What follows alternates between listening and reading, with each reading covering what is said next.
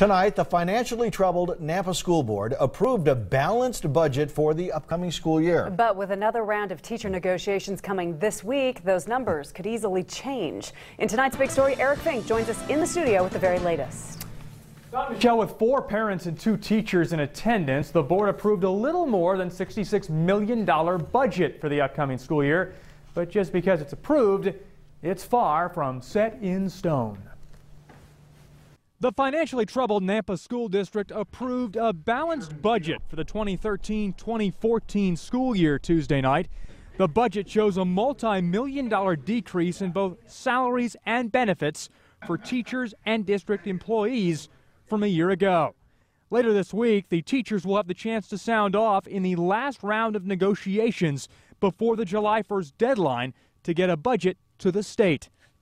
We need to issue contracts to our teachers uh, July 1st, and so we're moving forward putting those pieces into place depending on what happens with negotiation. There are other pieces that we can negotiate. Parents from New Horizons Dual Language Academy hope the board considers a $90,000 proposal to use two buses to pick up and drop off kids starting in August.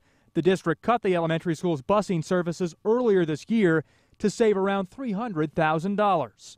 We are taxpayers and we should have the same uh, amenities as the rest of the school district does. The rest of the schools have buses. Our children do not have any. How is that fair? If the district was to adopt this busing proposal, it would have to find $90,000 to cut elsewhere. Now, the last round of teacher negotiations before the July 1st deadline to set the budget and get it to the state scheduled for Thursday and Friday.